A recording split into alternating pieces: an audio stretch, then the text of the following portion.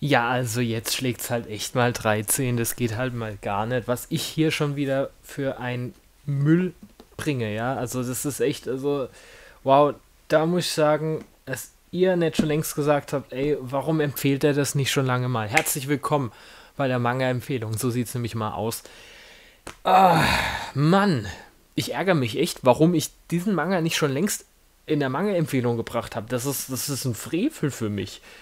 Oder vielleicht habe ich es getan und ich habe es jetzt einfach komplett übersehen. Aber ich glaube nicht. Ich habe all meine Manga-Empfehlungen durchgeguckt und ich habe nicht einmal das aufblitzen sehen. Ich glaube, ich habe es öfter mal bei, der, bei dem Privateinsatz Manga-Parts ähm, gemacht.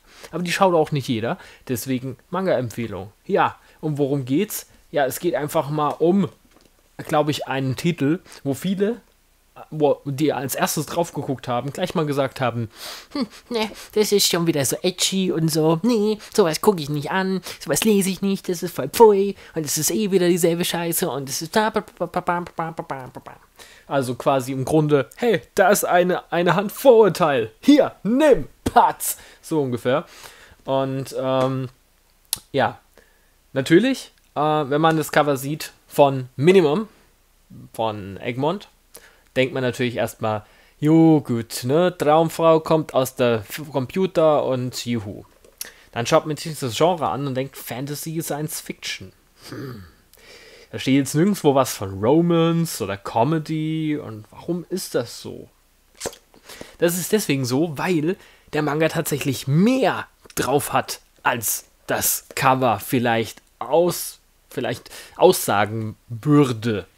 Was ja normal ist, weil der, das Cover ist erstens mal immer so ein bisschen so der, das Eye-Candy, ne? Es muss toll aussehen, am besten irgendein nackig Mädel drauf oder so. Dann hast du schon mal gute Punkte. Das macht der ba zweite Band auch nicht viel anders. Und der dritte Band, den ich jetzt bisher als letztes habe, ich weiß, Band 4 ist draußen, wird auch noch kommen, ähm, der macht das auch nicht viel anders. Warum ist es trotzdem more than meets the eye? Ganz einfach. Minimum fängt harmlos an. Wir haben einen totalen Loser-Typen, ja, der an eine gewisse andere Serie erinnert.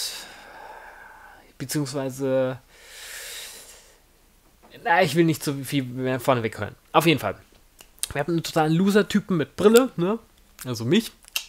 Und ähm, der Typ ja, ne, der hat sich, glaube ich, in irgendeine verliebt, bla bla bla. Aber das dreht sich gar nicht darum. Es ist nicht dieses typische, der sich darum verliebt, aber kriegt die nicht und deswegen kommt jetzt ein Mädel zur Hilfe. Nein. Es ist einfach so, dass er eines Tages, ich weiß, glaube im Computerclub oder so alleine ist oder so und auf einmal mal kommt macht irgendwie alles elektri wird elektrisiert, beziehungsweise diese virtuelle Energie kommt aus dem Computer raus und ja, du, du hast da ein kleines Mädchen. Die ist ungefähr so groß. So, ne? Und ja, er sieht die und denkt erstmal, what, was passiert hier? Was, was ist, in welchem Film bin ich gerade? Ist hier versteckte Kamera oder so? Tja, nee, das ist nicht der Fall, denn sie ist echt.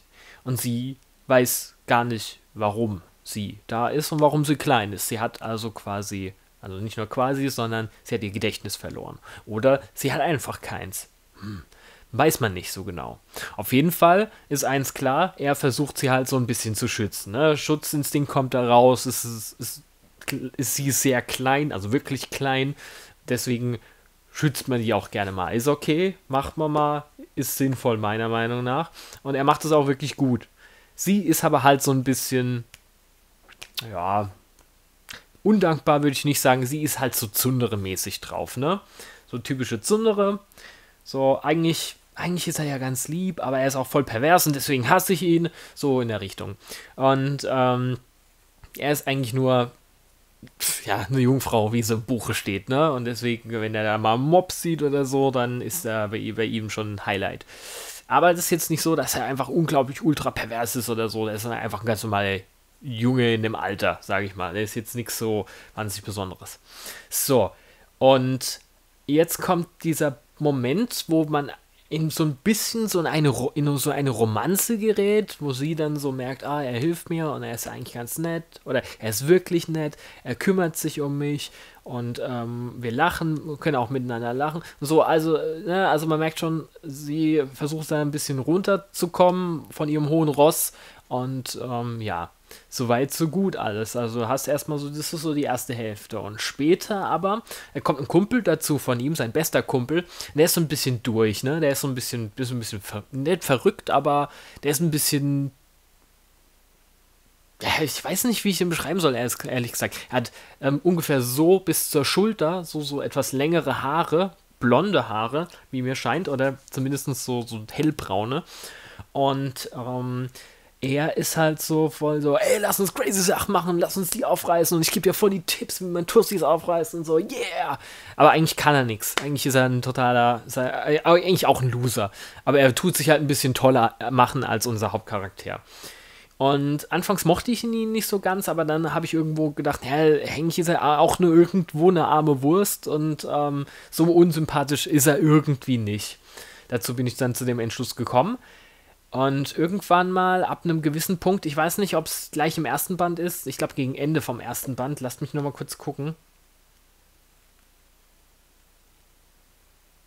Ja, gegen Ende vom ersten Band merkt man so, wie diese ganze Thematik so ein bisschen umgestülpt wird. Auf einmal ist alles gar nicht mehr so, so Love Comedy-Romance-mäßig drauf, wobei Comedy ist ja sowieso eher, mh, mm, also diese Romance-Sache wird auf einmal dann so in den Hintergrund gelegt und die, der Manga kriegt eine ganz andere Grundstimmung. Und das, und das ist interessant, weil ich nicht genau weiß, ab wann das tatsächlich passiert, weil es gibt einen Moment, der mir im Kopf äh, ist, im, im, gegen Ende vom ersten Band, ähm, weil der Charakter, also der, der, sein Kumpel da, ähm, zu ihm nämlich äh, den, dieses kleine Wesen da bemerkt oder, oder irgendwie sieht, aus Versehen. Und er dann ähm, sagt, ey, du mach das weg, mach's weg, das gibt nur Ärger, das gibt nur Ärger. Und er dreht halt voll hohl und, und du denkst halt so, warum ist denn der jetzt so krass drauf? Was hat der denn? Hat der, weiß der irgendwas, was, der, was du und der, der Hauptcharakter nicht weißt? Nee, er ist einfach nur irgendwie total er, er, sieht einfach dieses kleine Mädchen, das ist nicht normal und das ist merkwürdig und das gibt nur Ärger. Das ist so in seinem Kopf drin und damit hat er wahrscheinlich auch nicht so ganz unrecht, aber ähm, er hat ja eigentlich nichts, worauf was auf seine Meinung basiert und, und das wirkt dann auch auf einmal so, du hast so das Gefühl, er würde die am liebsten umbringen oder einfach nur wegwerfen oder irgendwas Bösartiges machen und man ist halt schon so mit dem Charakter, mit den Charakteren schon so ein bisschen warm geworden und ich meine, das wäre auch einfach Unding, die jetzt irgendwie zu killen oder sowas. Und das, das ist so ein bisschen dieses unwohle Gefühl, was da auftaucht. Der Clou, den ich aber eigentlich meine, ist, dass es genau schon vor dieser Szene, ähm, ohne dass irgendwas Wichtiges passiert, sage ich mal, die Stimmung kippt. Aber in den Bildern, und das ist das, was interessant ist, weil das bereitet einen nämlich darauf vor, da, was gleich passiert. Und das kann, macht dieser Mangaka, der äh, Maya Miyazaki, wo ich jetzt nicht weiß, ob sie, ob sie eine sie oder er, eine er, ein er ist, das weiß ich jetzt nicht. Ähm, wie immer eigentlich. Ähm, aber ich muss sagen, das hat mich dann doch gehuckt und ich wollte weiterlesen. Und ich habe weitergelesen, ja, bisher bis zum dritten Band und ich muss sagen, es wird immer intensiver. Und ähm, man, man, ähm, man muss, glaube ich, ein bisschen davon abwägen. Ähm, der Mangaka hat ja bei uns dieses Cosplay Detective rausgebracht, was nach mehr aussieht, als es tatsächlich ist. Cosplay Detective ist ein ziemlich banales Ding. Es ist nichts wirklich Besonderes. Kein toller Manga. Hatte ich auch in der Manga-Empfehlung, oder? Oder hatte ich den da drin? Ich glaube schon und habe den da auch nichts Gutes geheißen. Also es ist so, so okay halt, aber es ist jetzt nichts, was mh, hm, langweilige Stories und äh, also es ist interessant, weil das sind quasi diese, ähm, oftmals machen Mangaka noch so ein Band, wo, wo sie rausbringen, ihre ganzen Stories, die sie so im Kopf hatten, aber nie irgendwie was Ganzes draus machen wollten, sondern immer nur eine Kurzgeschichte quasi. Und das ist im Grunde dieses Cosplay-Detective. Ähm, was zwar ein super toller Zeichenstil äh, hat, wie eben halt auch Minimum selber. Ich kann es vielleicht mal. Ich, ich weiß halt nicht genau, was man jetzt zeichnen darf.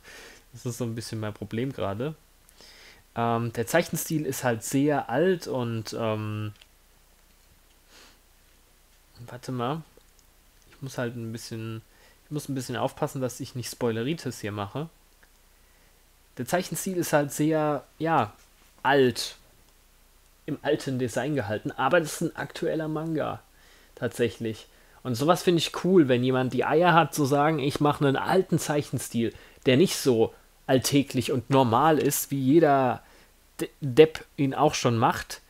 Ich sage das jetzt einfach bewusst, weil ich es schade finde, dass ähm, so ein bisschen auch Individualität bei vielen ähm, dadurch flöten geht, weil jeder irgendwie so den neuen Stil durchmachen will und so weiter. Ne? Dementsprechend.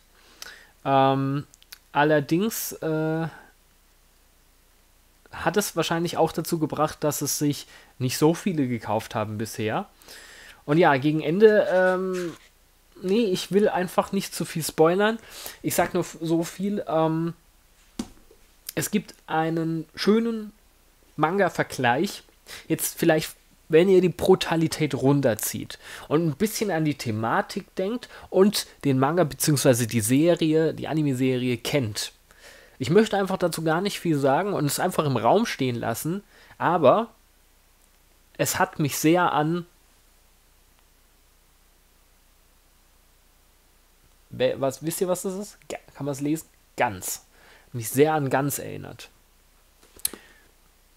Und damit lasse ich euch einfach mal. Ich sag, werde nichts weiteres sagen. Das wird nur die Stimmung kaputt machen, sage ich mal. Oder beziehungsweise das wäre Spoileritis ohne Ende. Das möchte ich nicht. Aber es hat mich an ganz erinnert. Wenn ihr ganz toll fandet, wenn ihr ganz gut fandet, ganz, ganz gut, dann unbedingt mal Minimum reinschauen.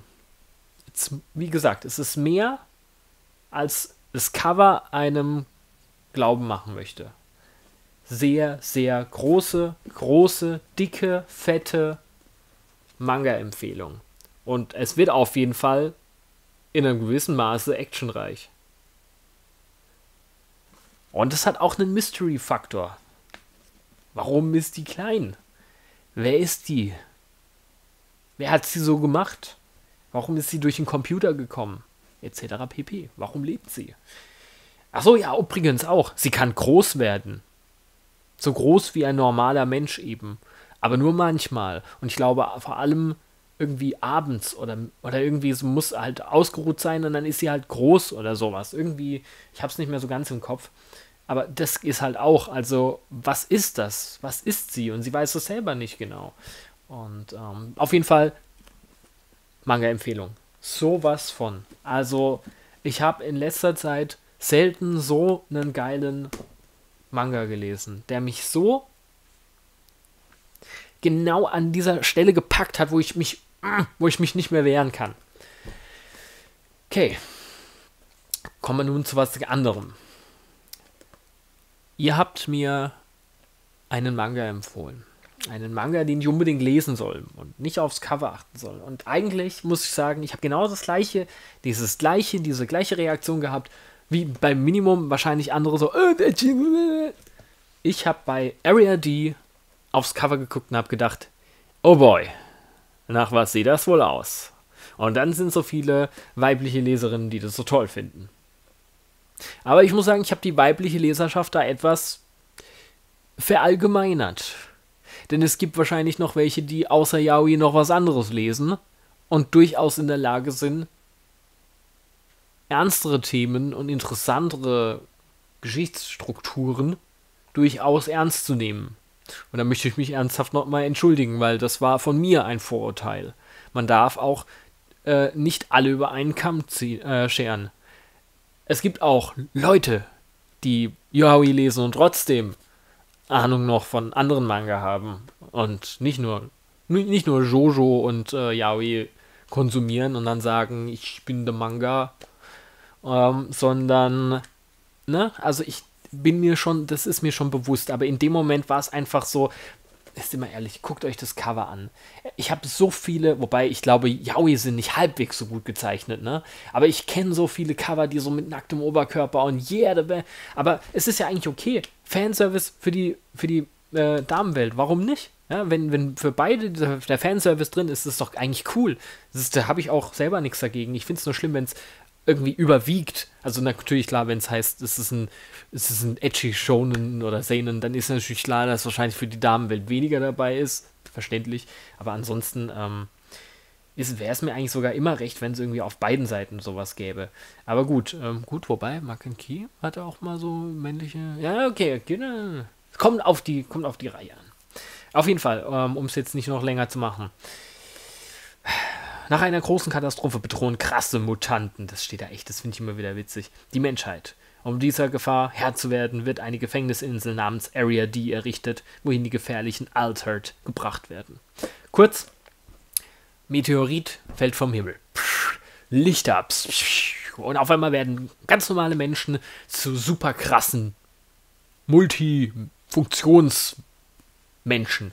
Sprich, sie sind nicht mehr nur ein normaler Mensch, sondern sie sind halb Alien irgendwie, scheinbar. Oder sie haben zumindest eine extrem krasse Kraft und werden deswegen Altered genannt.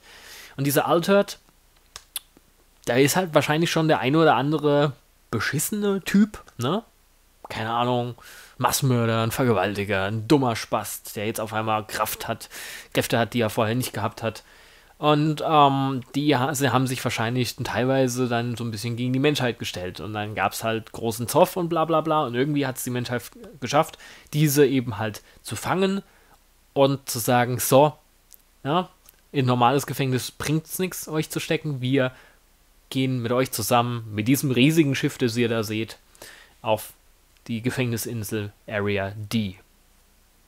So, und es dreht sich halt um einen Hauptcharakter, der eben halt eine dieser Fähigkeiten besitzt. Und diese Fähigkeit äh, ist mit einer Hand, mit seiner Hand, wenn er irgendwas berührt, das in, in Atome oder in, also in aufzulösen auf jeden Fall oder zu ähm, ja, ich sag mal, zu auf, der, auf den Urspr Ursprungspunkt zurückzubringen oder so. Also stellt euch vor, er berührt eine Kette und die Kette zerfällt einfach in seine Einzelteile. So, oder, oder ein Tisch und der Tisch zerfällt in, in das, wie, wie er zusammengesetzt wurde. Das ist seine Fähigkeit. Und ähm, dieser trifft auf diesem Schiff darauf halt andere Leute, wie zum Beispiel einen Typen, der sich nach und nach eben halt, weil es auf diese Insel geht und ähm, auf dieser Insel dann 100 pro ähm, Leute sich zusammensetzen und weil es ja ums Überleben geht dort auch und ähm, ne, man kennt es ja auch so Gefängnisinsassen tun sich auch gerne mal in Gruppen zusammensetzen und bilden und er versucht halt die krassesten dort ähm, zusammenzufinden für sich, für seine Zwecke beziehungsweise einfach oben überleben zu können. Einfach er ist nicht dumm und er ist ziemlich smart. Und unser Hauptcharakter gehört halt nicht in dieses Schema X rein. Und dann ähm, ist es aber so, dass eine komische Dame, die durch die Wände kann, ja, ähm, zu unserem Hauptcharakter sagt, ähm, also irgendwie gibt es einen Kampf gegen so einen, äh, ja, einen Rowdy, so einen bösen, dicken, kräftigen Spacko, der ihn halt kaputt hauen will, weil er irgendwas Schlimmes gemacht hat. Jetzt schlimm, dass ich schon wieder halber vergessen habe, aber also ich will es euch nur so grob erklären jetzt. Ähm, und ähm, der rennt halt dann, will halt abhauen, weiß aber nicht wohin in diesem Schiff. Und äh, diese eine, die durch die Wände äh, reisen kann, kommt auf einmal zu ihm wie so eine Fee und meint, hey, geh da den Weg, den Weg, den Weg und befreie mit deiner Kraft diesen einen Typen, diese, diesen besonderen Altered. Weil dieser Altered, der ist, ähm, ja, eine ziemlich hohe Nummer. Und die werden in einzelnen Kanistern quasi ähm, verfrachtet. Container, Entschuldigung, nicht Kanister, Container. Okay. Und er rennt da halt hin als letzter Ausweg. Was macht er? Er öffnet es natürlich und er, der Altert da drin, das ist er hier, er will erstmal überhaupt nicht gegen ihn kämpfen, schafft es dann aber durch seine, das, was er sagt und das, was er tut, ähm, ihm, ja, sagen wir mal, Gehör zu schenken. Und dann kommt er halt doch raus und ähm, fuckt shit ab. Ne? Der ist einfach mal ziemlich badass und ziemlich stark. Ich will gar nicht mehr erzählen, aber was allein schon in diesem ersten Band passiert, ist richtig, richtig geil was dann später passiert. Sie kommen noch in der, erst, in der, im ersten Band gegen Ende, kommen sie noch auf die Insel und man bekommt schon mal so ungefähr eine Ahnung, was da auf einen lauert. Also, der Manga ist, dreht sich um Survival. Ja, Da kann man jetzt mit sämtlichen Sachen kommen. Ich kann aber nichts jetzt, sage ich mal, als Empfehlung oder als Gegenbeispiel oder als, ähm, wenn du das gelesen hast, dann lese Area D sagen, was ich nicht kenne. Deswegen kann ich nur ähm, Sachen sagen wie Cage of Eden, ist ein englischer Manga. Der dreht sich sehr um Survival, also um Überlebenskampf. Ähm, Betum habe ich mal ein bisschen reingeguckt. Ich weiß jetzt nicht genau, inwiefern das kombinierbar ist, aber hat auch was mit Survival zu tun. Deswegen ähm, würde ich das auch dazu zählen, wobei nicht ganz so genau, weil ähm, Area D ist da dann noch, noch mal einen Ticken anders. Ähm, an was es mich auch irgendwie ein bisschen erinnert hat, ist tatsächlich an ähm, Danganronpa, aber nur ein bisschen. Vor allem, glaube ich, wegen diesem, wegen diesem einen Hasen, der mich sehr an diesen einen Teddy erinnert. Just saying. Aber ich finde ihn cool. Ich mag, ich mag diesen Charakter unglaublich. Ich liebe sowas.